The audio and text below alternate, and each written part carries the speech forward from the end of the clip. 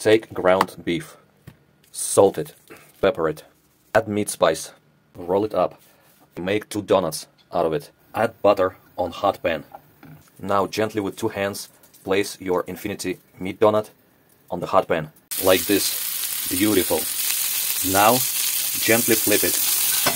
Add the eggs in the middle. Add mustard on the bread. Add cheese on top. Cover with lid. Cook for 10 seconds, then turn off the heat.